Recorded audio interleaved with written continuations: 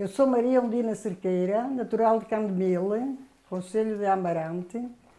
E confecciono o cabrito há 47 anos, que é desde quando tenho o restaurante. O cabrito é criado na serra, com urze, carqueja e aquilo que pode roubar, claro. É confeccionado, vem lavado com água quente, deixa-se escorrer bem escorrido, põe-se em limão e loureiro, depois espreme-se muito espremido, limpa-se a água toda, põe-se num tabuleiro, confeccionado com muita cebola, loureiro, muito alho, vinho maduro branco e um pouco de alecrim. E depois vai ao forno. Depois disso, mexe muito mexido com bastante óleo, fula que não gasto mais nada a não ser óleo ou azeite.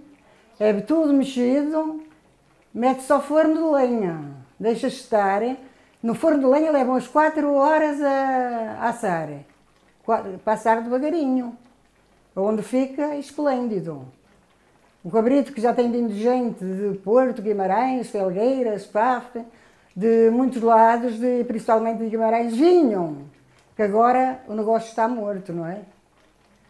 Agora vamos lá ver o que é que isto, mas isto cada vez está pior com a evolução das autoestradas e P4, que deram cabo do negócio completo aqui na nossa zona.